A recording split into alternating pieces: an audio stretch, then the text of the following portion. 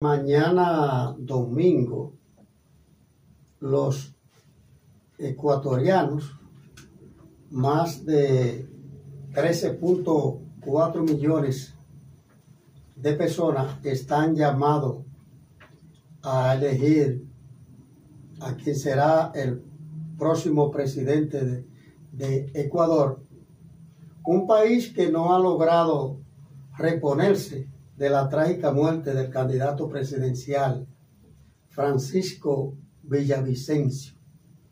Así es. Hay un grupo que está detenido como presunto culpable de ese trágico hecho y se dice que hay un dominicano entre ese grupo. Sí, eso vi en la, en la prensa. No solamente él ha sido asesinado, después, 10 días después asesinaron otro, otro dirigente del partido.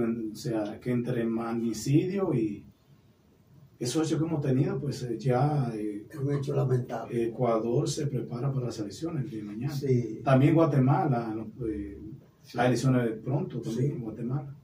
Pues sí, entonces en Ecuador hay elecciones porque el presidente Guillermo Lazo, que está acusado de corrupción, que él niega, entonces él se valió de la constitución que le permite, él disolvió la asamblea y decidió convocar a nuevas elecciones amparado en el recurso constitucional conocido como muerte cruzada.